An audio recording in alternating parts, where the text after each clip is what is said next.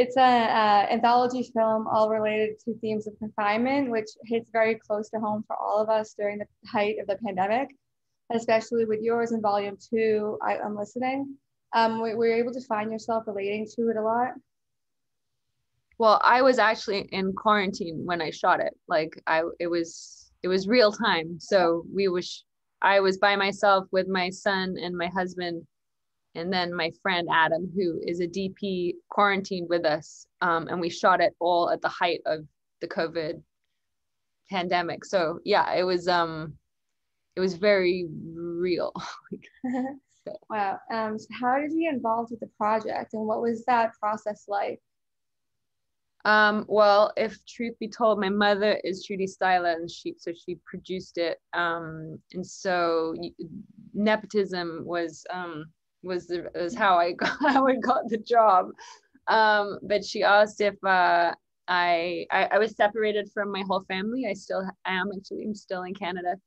Um, and she said she was doing this project where she was asking actors to um, create these films in quarantine with their families, and um, she asked if I would be interested in doing one um, with her, and because um, she's also an actress, and I sort of jumped at the uh, the concept, you know, mainly because, well, I wanted to direct. I've never directed. I'm just um, usually just act, and um, I also wanted an opportunity to collaborate with her as a way to kind of try and stay close and connected and um, uh, creative um, with my family. So my mother is in it as well as producing it, and then my sister plays Siri, um, and then obviously my son is my son in, in the in the in the film. Oh, wow, that's incredible! It's like a family affair, and that was actually exactly.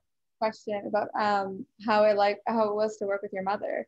Uh, did you guys like fight at all, or it was pretty much smooth? Um, you know, I've been um, I've worked with her as an actress before. We did a play together, and we've done a movie together and then she directed a movie that I I had a small role in. So she directed me but this was the first time I got to direct her and it was it was so fun actually. Like I think I was a little bit nervous in the beginning um just you know that shifting dynamic of me sort of telling her what I would like her to do rather than the other way around um, but I, uh, she was very generous and with me and um, made me like it was all there was no fights. It was it was it was very undramatic and very loving and collaborative and she was very um, good at taking notes.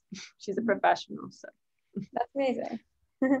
um, so you mentioned your di- um, directorial debut. Uh, what was that like? Yeah. Directing for the first time.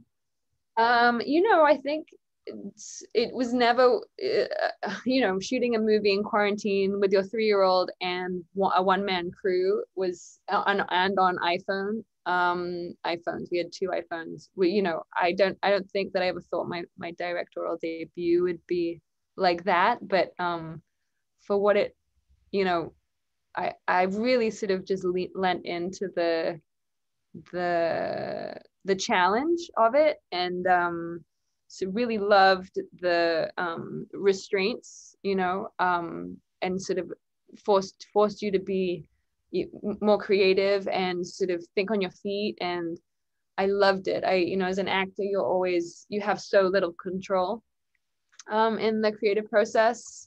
Um, and I think directing, being able to be part of the process from the beginning to the very end, um, you know, uh, was such a great learning experience and also just so fun like i i really want to do more um i'm hoping this is just the beginning of my directing career so i was really grateful for the opportunity awesome so you premiered at tribeca what was it like going to tribeca was it your first time there I've not. I did. I'm. I'm actually in Vancouver um, at this film studio shooting Snowpiercer season three right now. So I didn't go anywhere near New York. Um, uh, but um, I was it's a thrill like Tribeca. You know, I I lived in New York for ten years, and um, Tribeca Film Festival is such so iconic, and um, it's such a privilege and an honor to be um, a part of it. And so I was I was just excited that the project got to go there and be part of it. Um, I wish that I'd been able to go, but next time. Your character Alex often finds herself getting annoyed um, at the iPhone from the lights turning off to just like weird things happening with Siri. Um, what did that experience make you like never want to touch an iPhone again? Um, it's funny because now because every time I'd watch playback or like the editing cuts and they would say like hey my phone heard hey Siri, she would turn on and like be like, How can I help you? And I'd be like, No, not no Siri. I still have a contentious relationship with Siri. Um, uh, that has remained. Awesome. And um, shooting on an iPhone um, was that must have been new, and especially with COVID. But it, maybe COVID turned it into like a new normal to shoot an iPhone. Um, was there any like difficulty shooting that, or was it just like was it? Was um, it- we had to i mean i feel like we do everything on our phones. You know we take photos we take videos we talk we do facetime. We like I actually feel like doing it on the iphone felt way more like i i i could do it as opposed to having to learn how to work like an actual film camera and like complexity of that. So there was something really lovely about my friend who's adam who dp'd it um, you know, we we decided to keep it really simple. The shots, the wide shots, the horizontal shots would just be still. Um, there was no panning, there was no zooming, there was no moving, and then all the movement was basically me with my phone mm-hmm. talking to Siri in, into my FaceTime. Yeah. Um, and in in that respect, it was very natural because it was what I do all day. And um, so through this film, we see amidst the chaos of being in quarantine, we do see some raw and real moments, especially with your son.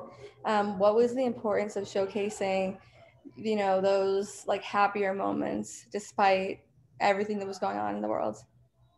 Because I think that, um, thank you for noticing that. That was something I was really hoping to have. I think that, you know, re- in reality, you know, you, even though you're going through unprecedented times and, um, you know things are going sort of insane around you and uh, so much unknown and fear. Like as a mom like you also have to be really present with your kid. And my my you know my son has disabilities and um, is nonverbal and hard of hearing. So his reality is like he had he has no idea what's going on. Like he didn't doesn't understand the concept of covid or quarantine. So like of course there would be moments where you're just with your son and like in his reality and and making sure that he's content and happy and fed you know? And i think all those things that you know make you present as an adult that because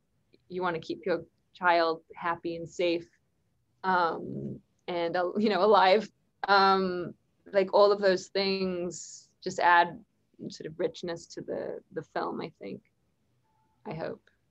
Yeah, definitely. I mean, I definitely saw that. I'm sure a lot of other people did.